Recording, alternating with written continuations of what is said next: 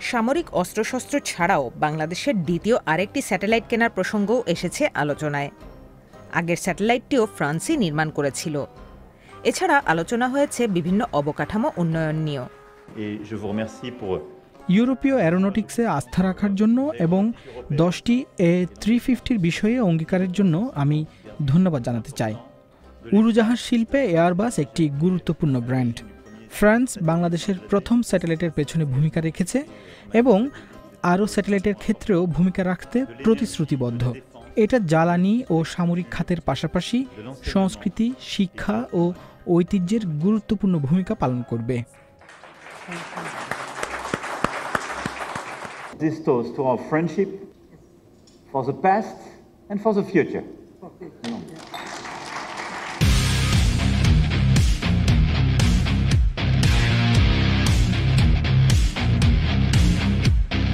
French president Emmanuel মাখোর হচ্ছে দুই দিন ব্যাপী সফর শুরু হয়েছে বাংলাদেশে।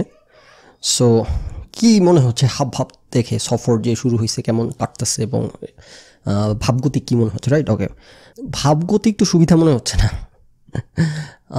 শেখ হাসিনার সাথে খুবই দহরম মহরম দেখা যাচ্ছে।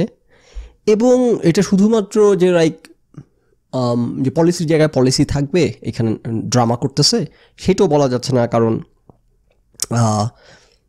পলিসির জায়গায় পলিসি থাকলে দুই দিনের সফরে এইভাবে আসারই কথা না। এখানে বিজনেস ডিলিংয়ে আসতেছে এবং ইন্দো প্যাসিফিক রিজিয়নের জিও পলিটিক্যাল বিষয়ে কথা বলতে আসতেছে। সো এখানে ফ্রান্সের বিশাল ইন্টারেস্ট নিয়ে আসছে এই সফরে ইমানুয়েল মাখো সো এখানে মানে বাংলাদেশে যে ফ্রান্সের ইন্টারেস্ট বেশি এবং অবশ্যই এই কারণেই শেখ হাসিনা যায় নাই ফ্রান্সে, মাখো আসছে বাংলাদেশ রাইট এবং এই দুদিনের সফর যে বডি ল্যাঙ্গুয়েজ দেখলাম, সে ভাবা আমরা অদ্ভুত অবস্থা শেখ হাসিনার সাথে যে খাতির ওকে নাও এই জিনিসটা দেখার পর, এই সফরে এই সফর দেখার পর, এই সফরে তাদের পারস্পরিক ইন্টারাকশন এবং হাসি, আনন্দ, দুঃখ ভাগাভাগি করার যে অবস্থা এবং ইম্পর্টেন্টলি ফ্রান্স বলে বেড়াচ্ছে এখানে এসে যে বাংলাদেশ এবং ফ্রান্সের টাই দীর্ঘমেয়াদী হবে, আরও সুদৃঢ় হবে।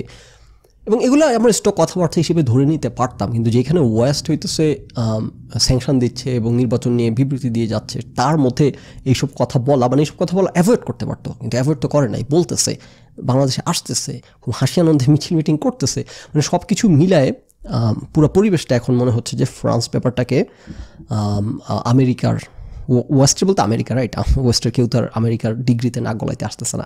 আমেরিকা নাচবে, আমেরিকার সাথে আমেরিকার যে ল্যাপটপগুলো ওয়েস্টের দেশ ওরাও নাচবে। আমেরিকা না নাচলে ওরাও নাচবে না রাইট সো বেসিক্যালি আমরা এখানে মূল বোঝার জায়গা হচ্ছে আমেরিকা কী চায়। তো আমেরিকার চাওয়ার সাথে অ্যালাইন করে যে ওয়েস্টের ওরা নাচানাচি করতেছে, সেই অ্যালাইনমেন্টে যে ফ্রান্স নাই অ্যাটলিস্ট একটা দেশ যে নাই এটা মোটামুটি পুরস্কার হয়ে গেছে এই সফর শেষে।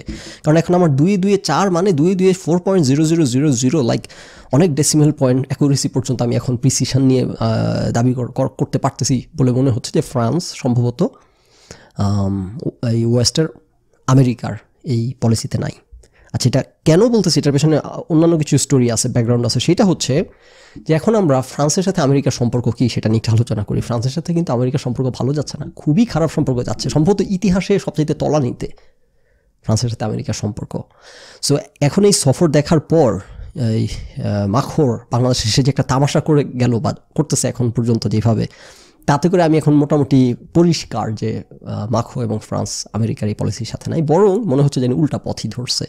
বরং মনে হচ্ছে যেন বাংলাদেশের সাথে বন্ধুত্ব বাড়াইতেছে, এই সরকারের সাথে, আওয়ামী লীগ সরকারের সাথে, ঘনিষ্ঠতা বাড়াইতেছে ডিলিং বাড়াইতেছে, স্বার্থ এবং এখান থেকে যদি স্বার্থ আদায় হয়, মাখর যেই উদ্দেশ্যে আসছে, যেই কারণে আসছে, যেই বিজনেস ডিলিংসে আসছে এবং যেই এগুলো যদি মাখো পায়, তখন সে কৃতজ্ঞ থাকবে না? তখন সে তো পে ব্যাক করতে হবে। তখন শেখ হাসিনাকে পে ব্যাক করবে। কীভাবে পে পে ব্যাক করবে? ফ্রান্স থেকে চোর পাঠাবে চুরি করার জন্য? ভোটে না। এখানে চোরা চুরি করলে ফ্রান্স কোনো ভূমিকা নিবে না। এইভাবে পে ব্যাক করবে ওকে না এগেন ফ্রান্স তো আর কোনো বিগ প্লেয়ার না। বিগ প্লেয়ার হইতেছে ইউএসএ রাইট সো যে কথাটা বলছি, আমেরিকা একা যদি একটা পজিশন নেয় পৃথিবী তার অন্য কোনো দেশের সাধ- সাধ্য সামর্থ্য নাই, সেই অ্যাবিলিটি ক্যাপাসিটি আমেরিকার বিরুদ্ধে দাঁড়ায় কিছু করার। কিন্তু কথা হচ্ছে, বাংলাদেশ এমন একটা দুর্বল এবং বাতিল দেশ যে এটা নিয়ে আমেরিকা এত কিছু করতে যাবে। কেন নাম্বার ওয়ান লাইক যা হোক, আমেরিকার সাথে ফ্রান্সের যে সম্পর্ক চূড়ান্ত রকম খারাপ, এটা যে এখন রেলেভেন্ট হয়ে উঠতেছে আরেকবার, আমি যেটা বললাম, এই সফর দেখে আমি আরেকবার এটা আমার রিমাইন্ডেড হইলাম, এই তাদের আচরণ দেখে। যে ইয়ে নিয়ে যখন ইউক্রেন যুদ্ধ নিয়ে তো অবশ্যই সারা পৃথিবীর অনেক কিছুই দুধ কা দুধ পানি কা পানি হয়ে গেছে প্রোপাগান্ডিস্টরা যত যাই বলে বেড়াক। সো ইউক্রেন যুদ্ধ যখন শুরু হয়েছে, তখন যখন ইউরোপিয়ান ইউনিয়নের উপর বা ইউরোপিয়ান ইউনিয়নের দেশগুলোর, বা নেটোর নেটোর সদস্যভুক্ত দেশগুলোর উপর যখন আমেরিকা অব্যাহত চাপ রাখতেছিল আরও বেশি অ্যামুনিশন সাপ্লাই দেওয়ার জন্যে, তারপর হচ্ছে যে স্যাংশন দেয়া সো সেটা শুরুতেই কিন্তু খুব বিশাল একটা ফ্যাকশন দেখা দিয়েছিল তাদের মধ্যে। আমেরিকার সাথে অন্য ইউরোপের অনেক দেশই নাচতে চাচ্ছিল না। জার্মানি নাচতে চাচ্ছিল না, ফ্রান্স নাচতে চাচ্ছিল না ইউকেও অনেকটা নাচতে চাচ্ছিল না। এই যে ট্যাঙ্ক দিতে রাজি হইতেছিল না, তারপর হেলিকপ্টার, মিসাইল এগুলো দিতে রাজি হচ্ছিল না। বাইডেন গিয়ে মিটিংয়ের পর মিটিং, মিটিংয়ের পর মিটিং করে তাদেরকে রাজি করাইছে। সো তারা কেউই কিন্তু আমেরিকার সাথে এগুলো করতে রাজি ছিল না। তাদেরকে বাইডেন কি পড়াইছে, গিয়ে কি বুঝাইছে, আমাদের ইতিহাস, ঐতিহ্য ধরে রাখতে হবে, কী কী নাইলে আমাদেরকে পুতিন এই হয়ে যাবে। ভূগোল তো কিছু একটা বুঝাইছে। বুঝে তারপর আমেরিকা প্রমিস করছে, তখন কিন্তু খুব কড়া ভাষায় জার্মানি কথা বলছিল? জার্মানি তো বোধহয় বলছিল যে আমেরিকা তো কথা বলতেছে, আমেরিকা তো কোনো ট্যাঙ্ক দেয় না- দিল না এখন পর্যন্ত। তারপর আমেরিকা প্রমিস করছে যে আমরাও ট্যাঙ্ক দিব, এরকম কি কি। সো সেই সময়ে যেখানে ইউরোপের সব দেশের সাথে একটা দূরত্ব হয়েছে আমেরিকার, আবার সেটা মিটাইছেও, যে বলে না, ভাঙা কাঁচকে আর জোড়া লাগে, মিটাইছেও, কিন্তু অ্যাটলিস্ট বোঝা গেছে যে তাদের মধ্যে একটা স্ট্রং মতনৈক্য এবং ফ্যাকশন আছে। যা হোক বা অ্যাটলিস্ট আমেরিকার এইসব ইম্পেরিয়ালিজমের সাথে এবং এটা মেক সেন্স কারণ আমেরিকার যে বিশাল ইকোনমি এরা অ্যাফোর্ড করতে পারে এগুলা। ইউরোপের সব দেশ এটা অ্যাফোর্ড করতে পারে না। সো আমেরিকার এই হেজিমনির ইয়ে করার জন্য, আমেরিকা, এই হেজিমন আমেরিকার সাথে নাচার মতো অর্থনৈতিক এবং মানে অন্যান্য অবস্থাতে নাই ওরা নাচতে চায় না। কিন্তু যাই হোক, আমেরিকা দেখেন দেখেন, এগুলো, এখানে এই যে ফ্রান্সের যে কথাটা এখন আলোচনা করব, এটা ইম্পর্টেন্ট একটা ব্যাপার বোঝার যে, ইউরোপ আমেরিকার উপর এতভাবে ডিপেন্ডেন্ট এটা অবিশ্বাস্য। এটা এটা মানে অনেক টেকনিক্যাল দিক সম্পর্কে না জানলে এটা বোঝাও সম্ভব না যে ইউরোপ, আমেরিকার উপর কী পরিমাণে কত দিকে ডিপেন্ডেন্ট মানে অলমোস্ট অ্যাজ ইফ মানে আমেরিকা ছাড়া ইউরোপের কোনো অস্তিত্ব নেই আজকের দুনিয়ায়। ইউরোপের হাত পা বাঁধা। ইউরোপ যে আমেরিকার সাথে নাচে ইউরোপের দেশগুলা, এমন না যে তারা হইতেছে যে স্বেচ্ছায়। তারা বাধ্য, তাদের কোনো উপায় নাই। আর আমেরিকা যদি মুখ ফিরিয়ে নেয় ইউরোপের মানে একটু অবিশ্বাস শোনাইতে পারে যে এত বড় পুরান সভ্যতা, এত পাওয়ারফুল ইউরোপ, আমেরিকার উপর একটা দেশের ইয়াস তাদের পুরো আগাগোড়া যেভাবে ডিপেন্ডেন্ট এটা আমার এক আর্মি ফ্রেন্ড ইউএস আর্মিতে কাজ করা সেখানে। ও কিছু জিনিস বলল, পরে আমি শুনে লাইক খুব অবাক হইলাম এবং মানে আমি এগুলো জানতাম না অনেক কিছু। যে অনেক সফটওয়্যার থেকে শুরু করে অনেক ফার্মা কথাটা বলল মেড সেন্স যে পৃথিবীর সকল রিসার্চ তো হাব হইতেছে আমেরিকা, সকল ধরনের অ্যাক্টিভিটির হাব হচ্ছে আমেরিকা। এবং এই সবগুলো হইতেছে খুবই কম রয়্যালটিতে বা কপিরাইটে ইউরোপের সাথে শেয়ার করে আমার সেই আর্মি ফ্রেন্ড ইউএস আর্মিতে যে আছে আমেরিকান ভদ্রলোক, সে যে কিছু কথা বলল এগুলো আমি ভেরিফাই করি নাই, অবশ্যই সে যা বলছে সত্যই হবে।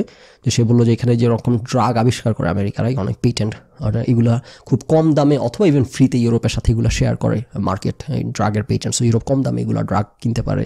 তারপর অনেক টেকনোলজি আছে আমেরিকা শেয়ার করে, অনেক ইন্টেল আছে আমেরিকা শেয়ার করে। সো আমেরিকার উপর ইউরোপ এমনভাবে ডিপেন্ডেন্ট যে আমেরিকা যদি মুখ ফিরিয়ে নেয় তাহলে ইউরোপ মানে শুনতে মনে হবে যেন একটা থার্ড ওয়ার্ল্ড কান্ট্রি নিয়ে কথা বলতেছি, কিন্তু ব্যাপারটা এরকম যে ইউরোপ পথে বসে যাবে। সেটার প্রমাণ দেখেন, এই ফ্রান্স যখন একটু মোচড় দেওয়া দিছিল ইয়ের সাথে স্পেশালি হচ্ছে ওই যে কি নেটোর ব্যাপারে, ওই ইউক্রেন যুদ্ধ নিয়ে, আপনারা ফলো করছেন কিনা? ফ্রান্সে কিন্তু মাখু খুব কড়া ভাষায় কিছু কথাবার্তা বলছে যে, এবং আপনি যদি সব ডিটেলস ক্রনোলজি ফলো না করে, তাহলে হয়তো একটু অবাক হওয়ার মতো যে এই ধরনের কথা নেটো বলতে গেল মাখু একটা নেটো সদস্য হয়ে, ফ্রান্স হয়ে মানে ঘটনা কি? এটার ঘটনা গোজ ইভেন ফার্দার ব্যাক সেটা হচ্ছে আজকে থেকে মনে হয় বছর খানেক আগের ঘটনা। ইউএস হইতেছে, ফ্রান্সের পিছনে স্টেপ করে ব্যাকে কীভাবে স্টেপ করে? সেটা হচ্ছে ফ্রান্সের সাথে একটা চুক্তি ছিল আমেরিকার, যে ফ্রান্সের নেভিকে সম্ভবত আমেরিকার হইতেছে, নেভির হইতেছে ওই যে, কি বলে এটা সাবমেরিন সাবমেরিনে কীভাবে নিউক্লিয়ার রিয়াক্টর বসাইতে হয়, কি ওই টেকনোলজি শেয়ার করবে? এরকম একটা কথা ছিল, যে অস্ট্রে ইয়ে কী বলে জানি, চায়নার, চায়নাকে মোকাবেলা করার জন্য ইউকে ফ্রান্স এবং হচ্ছে আমেরিকা মিলে, এরকম একটা। কথাবার্তা বেশ লাইক পাকাপোক্ত কথা ছিল। তারপর সেইখান থেকে হঠাৎ করে ইউএস ইভেন ফ্রান্সকে না জানায়, হঠাৎ করে এই চুক্তি থেকে ফ্রান্সকে কিক আউট করে অস্ট্রেলিয়াকে ঢুকাইছে এবং অস্ট্রেলিয়ার সাথে টেকনোলজি শেয়ার করবে এবং অস্ট্রেলিয়া, আমেরিকা এবং ইউকে মিলে এই প্রজেক্ট করবে। সেটা ইউএসএ করছে এবং তারপর থেকে হইতেছে মাখর মুখ খুলছে। তারপর ইউএসের বিরুদ্ধে অনেক কথাবার্তা বলা শুরু করছে। এবং ক্লিয়ারলি বলছে it was a step in the back right so তারপর থেকে অনেকটা ইউএসের কাছ থেকে মুখ ফিরিয়ে নিছে এবং ওই যে ইউক্রেন যুদ্ধ নিয়ে তো খুব কড়া কড়া কথাবার্তা বলছে। সো ইউএসের সাথে ফ্রান্সের একটা খুব ক্লিয়ার রিফট এবং যখন ইউক্রেন যুদ্ধের সময় যখন ফ্রান্স ম্যাক্রন যখন এইসব কথাবার্তা বলছে যে এখন নেটোকে ভেঙে দেওয়ার সময় হয়ে আসছে, তখন এখানকার একজন সেনেটর যেই ভাষায় কথা বলছে, এই ভাষা শুনলেই আমি দেখি ভিডিওটা খুঁজে পাই কিনা, এটা হচ্ছে Marco Rubio. So Marco Rubio ট্রাম্পের সাথে হ্যাঁ ট্রাম্পের এগেনস্টে দুই হাজার ষোলোতে কিন্তু প্রেসিডেন্সিয়াল ইলেকশন করছিল মার্কো রুবিও রাইট সো সেখানে প্রেসিডেন্সিয়াল ক্যান্ডিডেট সাবেক।